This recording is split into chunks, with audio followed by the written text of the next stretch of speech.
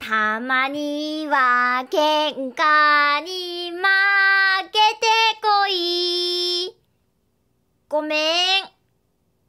福岡におる人なら一度は聞いたことあるよね。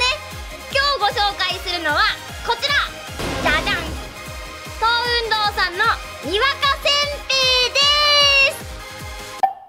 初めて見た人はこれが何なのかようわからんと思うっちゃけどにわかせんべいといったらね博多土産の定番。で福岡に住んどってにわかせんべいば知らんかったらねにわかやねーって言われるとよ。でにわかっていうのはもともとにわか狂言っていうのがあって素人の人たちが芸をすることを言うんよ。でその中でも博多にわかっていうのがあって博多にわかはね提灯馬頭からかぶって目の部分だけくり抜いた人たちが適当な言葉言ったり謎の問題を出したりして人々を笑わせるという芸だったそうですそこからこのお面が来とるんやってよかとチャンネルじゃあここでヨカトが動物の巻きまでばします何の動物か当ててくださいいきます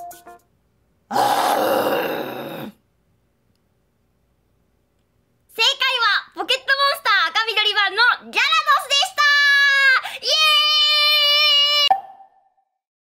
ーイいただきます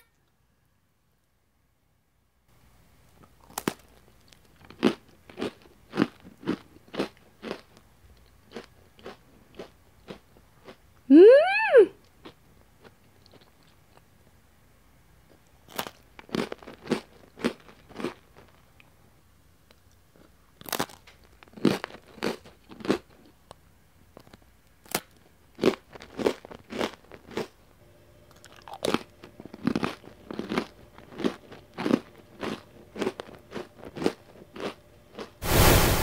袋を開けた瞬間早く食べてくれと言わんばかりに卵と小麦の甘く香ばしい香りが香ってくる。一口噛めばザクッと心地よい硬さ。噛めば噛むほどザクザク。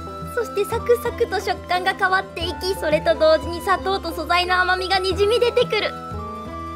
砂糖と小麦と卵。砂糖と小麦と卵。余計なものなど何もない。シンプルイズベスト。112年続くこの優しい甘みはどこかふるさとの母親を思い出させてくれる。ふるさとが懐かしい。あの小麦畑の景色が頭に広がっていくようだ。お母さん！ってここどこ？ねよかとのふるさとは福岡ばい。ねよかとこげんとこ知らんばい。誰？ねあんた誰はっなんかようわからんのが見えた気がしたばってやっぱりにわかせんべいはうまかね。ちなみににわかせんべいではなくにわかせんべいやけん。なんでせんべいなんかは東運動さもわからんらしか。今はねドラえもんとか7つの大罪とかいろんなとことタイアップしとうしゃけん。よかともいつかタイアップしたかね。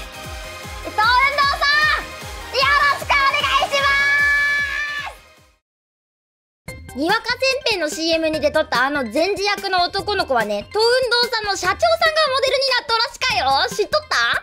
えちなみに、善治くんの役の彼ね、今結構ないい年になっとるはずなんやけど、消息がわからんだしか。もし見つけたらゆかとに連絡連絡！